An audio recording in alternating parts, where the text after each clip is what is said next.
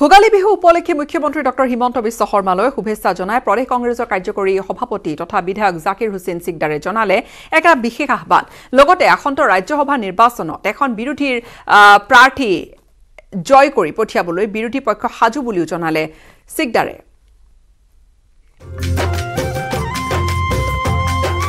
ভোগৰ উৎসৱ ভোগালী বিহুত এতিয়া ৰাজ্যবাসী ব্যস্ত।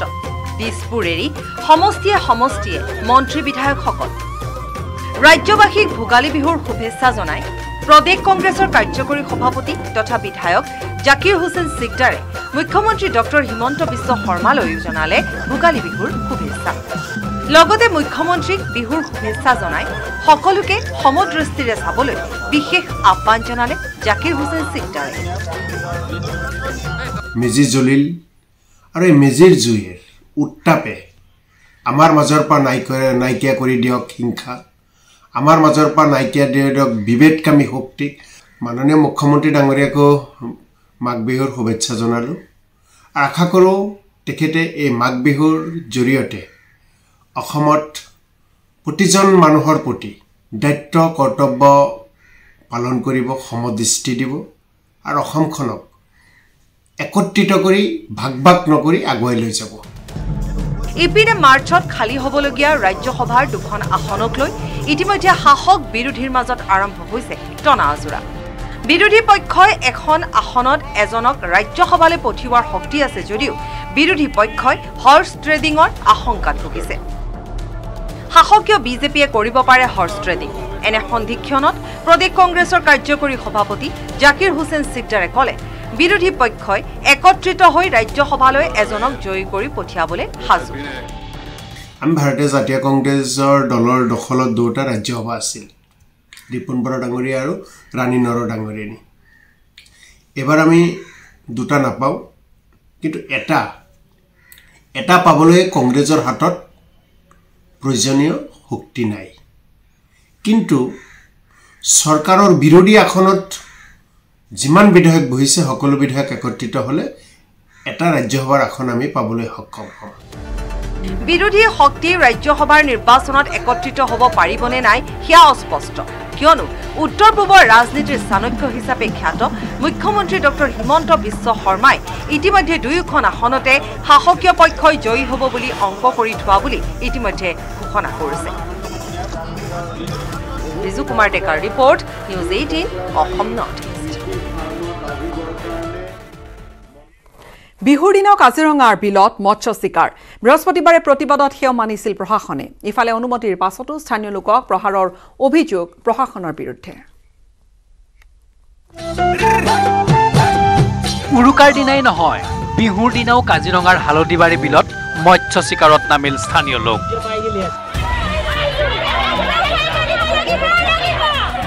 কাজিৰঙাত ভোগালীৰ উৰুকাত মৎস্য চিকাৰৰ ক্ষেত্ৰত এশ চৌৰাল্লিছ ধাৰা জাৰি কৰিছিল প্ৰশাসনে।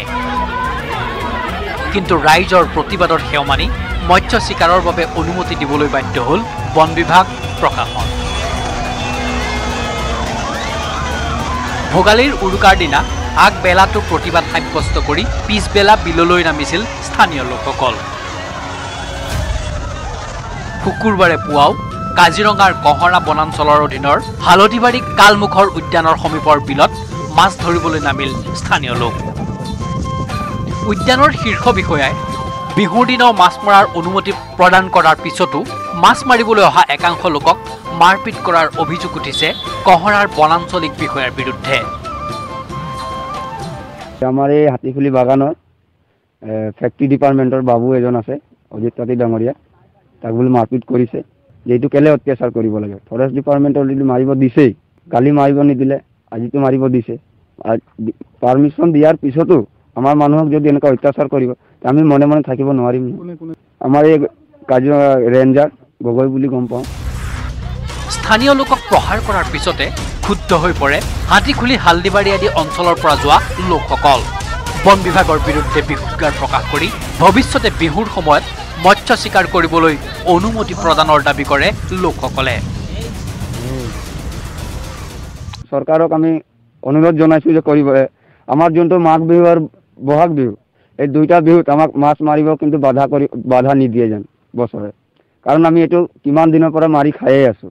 আমাৰ আইতা ককা খুৰা চবেই খায়ে আছে মানুহ কিন্তু এইটো দুইটা বিহুত আমাক মাছ মাৰিব কাৰণে কোনোদিন যাতে বাধা নিদিয়ে চৰকাৰে। কাজিৰঙাৰ পৰা Bitupan Bora news eighteen Assam north east. সময়খিনিতে আন এটা বাণিজ্যিক বিৰতিৰ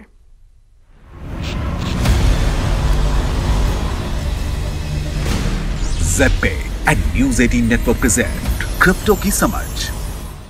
J P আৰু নিউজ এইটিনৰ ক্ৰিপ্ট কি সমাজৰ নতুন খণ্ডলৈ আপোনালোক সকলোকে স্বাগতম। আহক এইটো খণ্ডত ক্ৰিপ্টৰ সৈতে জড়িত কিছু গুৰুত্বপূৰ্ণ খবৰ আপোনালোকক অৱগত কৰাম হংকঙৰ এক ক্ৰিপ্ট'কাৰেঞ্চি এক্সচেঞ্জৰ কইন ছুপাৰৰ গ্ৰাহকে অভিযোগ উত্থাপন কৰিলে যে তেওঁ এক্সচেঞ্জৰ পৰা পইচা বা ট'কন উলিয়াব নাই পৰা। টেলিগ্ৰাম চেটৰ পৰা জানিব পৰা গৈছে যে নৱেম্বৰ মাহৰ শেষৰ পৰা এতিয়ালৈকে বহু গ্ৰাহকে কইন ছুপাৰৰ পৰা পইচা উলিয়াব নাই পৰা। কইন ছুপাৰৰ টেলিগ্ৰাম ছেটত নৱেম্বৰ মাহৰ পৰা এডমিনে গ্ৰাহকৰ প্ৰশ্নৰ উত্তৰ দিয়া বন্ধ কৰি দিছে। গতিকে এটা সমস্যাত পৰিছে। যদিও এইখিনিতে কিছু আশাৰ সঞ্চাৰ ঘটোৱা আন এটা খবৰ আহি পৰিছে যে তেওঁলোকে যোৱা সপ্তাহত গ্ৰাহকক মেইল আই ডি তথা যাৱতীয় কিছু নথি বিচাৰিছে। গতিকে কিছু সকাহ আহি পৰিছে গ্ৰাহকসকলৰ বাবে। এন এফ টি ট্ৰেডিং হাবৰ খবৰৰ মাজতে গেম ষ্টপৰ উত্থান ঘটিছে। ৰেডিটৰ cult favourite stock game stop কৰ্পৰেশ্যনৰ শ্বেয়াৰৰ এক চতুৰ্থাংশ বৃদ্ধি পাইছে। দৰাচলতে ৱাল ষ্ট্ৰীট জাৰ্নেলৰ এক ৰিপৰ্ট অনুসৰি কোম্পানীয়ে ভাৰ্চুৱেল গেমৰ কালেক্টিভেলছৰ বাবে এন এফ টি ট্ৰেডিঙত এক অনলাইন হাব বনাব আৰু ক্ৰিপ্ট' কাৰেঞ্চিৰ বিষয়টো সন্নিৱিষ্ট কৰিব। আৰু ৰিপৰ্ট অহাৰ পাছত গেম ষ্টপ সাত দশমিক তিনি শতাংশৰ পৰা এশ চল্লিছ দশমিক ছয় দুই ইউ এছ ডলাৰ চুবলৈ সক্ষম হ'ল। মন কৰিবলগীয়া কথা যে কোম্পানী শ্বেয়াৰত সেই সময়ত উত্থান হৈছিল যি সময়ত অনলাইন ফ'ৰামত স্মল ইভেণ্টছ আৰু ৱাল ষ্ট্ৰীট হেজ ফাণ্ডছৰ মাজত যুঁজৰ চেণ্টাৰত আছিল। কিন্তু নৱেম্বৰৰ মাজভাগত লাহে লাহে নিম্নগামী হ'বলৈ ধৰিল। কিন্তু এতিয়া সেই সমস্যাৰ অন্ত পৰিল। কঠোৰ অনুশাসনৰ ওপৰত সকলোৰে সন্মতি প্ৰদান। ক্ৰিপ্ট' কাৰেঞ্চি কোম্পানীয়ে বহুখিনি অনুশাসন বান্ধি দিয়াৰ কথা জনাইছে। তাৰ ভিতৰত মানি লণ্ডাৰিং যিকোনো ৰেগুলেটৰী কনচাৰ্ণৰ বাবে এক্সচেঞ্জক দোষাৰোপ নকৰা আদি সিদ্ধান্ত এক বৈঠকত গ্ৰহণ কৰা হৈছে। এই বৈঠকত ক্ৰিপ্ট' এক্সচেঞ্জ কেইবাগৰাকীও উপদেষ্টা চৰকাৰী বিষয়া উপস্থিত আছিল আৰু সকলোৱে নীতি নিৰ্দেশনা পালনৰ ক্ষেত্ৰত সহমত প্ৰকাশ কৰিছে। দুহেজাৰ একৈছত অবৈধ ক্ৰিপ্ট' কাৰেঞ্চি গতিবিধিৰ ওপৰত নজৰ ব্লক চেইনৰ এনালাইটিক কোম্পানী চেইনালিছৰ শেহতীয়া ক্ৰিপ্ট' ক্ৰাইম ৰিপৰ্ট অনুসৰি দুহেজাৰ একৈছত অবৈধ ক্ৰিপ্ট' কাৰেঞ্চিৰ পৰা গতিবিধি বৃদ্ধি পাইছে য'ত অবৈধ ঠিকনাত চৈধ্য বিলিয়ন ডলাৰৰ প্ৰগ্ৰেমেবল ফাণ্ডছ পোৱা গৈছে। চাবলৈ গ'লে বহু ডাঙৰ এটা খণ্ডৰ লোকচান নাই হোৱা কিন্তু ই অবৈধভাৱে পঠোৱা হৈছে গতিকে বিষয়টো এৰি দিয়া বিধৰ হ'ব নালাগে। এনেধৰণৰ কাৰণবোৰৰ বাবে মানুহে ইনভেষ্ট কৰিবলৈ হয়তো নিবিচাৰিব পাৰে বা আগ্ৰহ প্ৰকাশ নকৰিব পাৰে। তাৰ প্ৰতি লক্ষ্য ৰাখি এনেধৰণৰ অবৈধ গতিবিধিত চকু ৰখা হৈছে আৰু এতিয়া আইনো কঠোৰ হৈছে। আজিলৈ ক্ৰিপ্ট কি সমাজত ইমানেই। অহা সপ্তাহত আৰু ভাল ভাল খবৰলৈ আপোনালোকৰ ওচৰলৈ আহিম। নমস্কাৰ.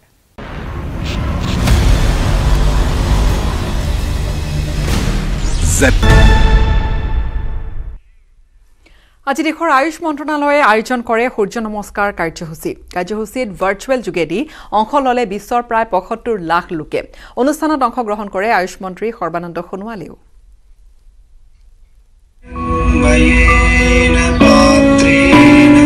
মকৰ সংক্ৰান্তিৰ উৎসৱ উপলক্ষে আজি আয়ুষ মন্ত্ৰণালয়ৰ উদ্যোগত অনুষ্ঠিত হ'ল বিশ্বজোৰা গণ সূৰ্য নমস্কাৰ কাৰ্যসূচী। স্বাধীনতাৰ অমৃত মহোৎসৱৰ অধীনত আয়ুষ মন্ত্ৰণালয়ে কেইবাখনো দেশত সূৰ্য নমস্কাৰ কাৰ্যসূচীৰ আয়োজন কৰিছিল দেশ বিদেশৰ পৰা প্ৰায় পঁয়সত্তৰ লাখ লোকে ভাৰ্চুৱেল মাধ্যমেৰে এই অনুষ্ঠানত অংশগ্ৰহণ কৰা বুলি সদৰি কৰিলে আয়ুষ মন্ত্ৰী সৰ্বানন্দ সোণোৱালে মন্ত্ৰী সৰ্বানন্দ সোণোৱালে নিজেও অংশ ল'লে এই সূৰ্য নমস্কাৰ কাৰ্যসূচীত संतुलन आसन श्वास छोड़िए बाएं पैर को पीछे ले जाइए और शरीर के वज़न को, दोनों हथेलियों को और पैरों पंजों पर रखिए।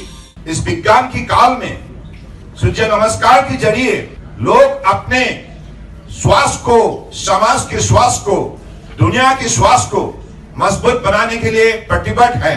सूर्य नमस्कार फॉर वाइटिलिटी सूर्य नमस्कार जीवन शक्ति का आधार। जितने भी लोग देश विदेश से शामिल हुए हैं, सबको मैं विशेष रूप से कृतज्ञता ज्ञापन करता हूँ शरीर को सीधा कीजिए साष्टांग नमस्कार आसन श्वास लीजिए फिर श्वास छोड़ते हुए সূৰ্য নমস্কাৰ এক প্ৰকাৰৰ ব্যায়াম এই ব্যায়ামে সমগ্ৰ শৰীৰক লাভান্বিত কৰে সূৰ্য নমস্কাৰৰ অনুশীলনৰ ফলত হাওফাওৰ ভিতৰত বিশুদ্ধ বায়ু পৰ্যাপ্ত প্ৰৱেশ কৰে এই ব্যায়ামে কেৱল ৰোগবোৰ আঁতৰাই ৰখাই নহয় কিন্তু মুখমণ্ডলত এক বেলেগ উজ্জ্বলতাও প্ৰদান কৰে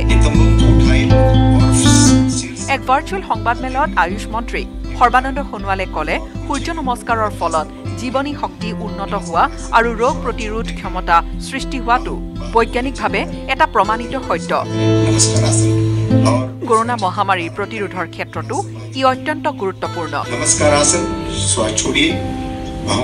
Bureau' report News eighteen Assam North East. শৰীৰ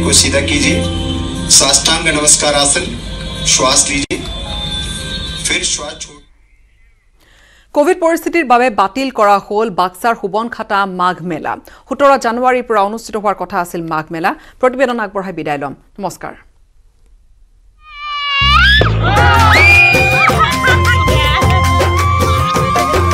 কভিড পৰিস্থিতিৰ বাবে ইতিহাস প্ৰসিদ্ধ জোনবিল মেলা বাতিল হোৱাৰ পিছত এইবাৰ বাতিল কৰা হ'ল ঐতিহ্যমণ্ডিত সোৱনখাটা মাঘ মেলা অহা সোতৰ জানুৱাৰীৰ পৰা অনুষ্ঠিত হোৱাৰ কথা আছিল এই মাঘ মেলা। কিন্তু কভিড পৰিস্থিতিৰ বাবে অনিৰ্দিষ্ট কাললৈ এই মেলা স্থগিত ৰখাৰ কথা ঘোষণা কৰিলে মেলা উদযাপন সমিতিয়ে। যি মেলা উদযাপন কৰাৰ কাৰণে প্ৰস্তুতি চলাইছিলোঁ কিন্তু যোৱাকালি হঠাতে আমাৰ সন্মানীয় মুখ্যমন্ত্ৰীদেৱে ক'ভিড সংক্ৰমণ বৃদ্ধি পোৱাৰ ফলত তেখেতে অহা ত্ৰিছ জানুৱাৰীলৈকে সভা মেলা বা যিকোনো অনুষ্ঠান ৰাজহুৱাভাৱে কৰা নিষিদ্ধ ঘোষণা কৰিছে। সেইকাৰণে আমি বৰ্তমান এই মাঘ মেলা সভাখন স্থগিত ৰাখিছোঁ। উল্লেখযোগ্য প্ৰতি বছৰে জানুৱাৰী মাহৰ সোতৰ তাৰিখে বাক্সা জিলাৰ ভাৰত ভূটান সীমান্তৰ সোৱনকাটাত অনুষ্ঠিত হৈ আহিছিল এই ঐতিহাসিক মাঘ মেলা। ইফালে ইয়াৰ পূৰ্বে জোনবিল মেলা বাতিল কৰাৰ কথা ঘোষণা কৰিছিল জোনবিল মেলা পৰিচালনা সমিতিয়ে। সংক্ৰমণ যিটো দ্ৰুতগতিত বৃদ্ধি পাইছে তাৰ প্ৰতি লক্ষ্য ৰাখি এইবাৰ ওঠৰ ঊনৈছ বিছ কি কয় বিছ একৈছ বাইছ তাৰিখে যি জোনবিল মেলা আয়োজন কৰিছিলোঁ সেইটোৰ বহুকেইটা দিশ আমি এবাৰ বাতিল কৰিছোঁ বাণিজ্যিক দিশ সম্পূৰ্ণৰূপে বাতিল কৰিছোঁ। ইফালে কভিড পৰিস্থিতিৰ বাবেই বাতিল কৰা হৈছে ঐতিহ্যমণ্ডিত আহঁতগুৰিৰ মহজুজ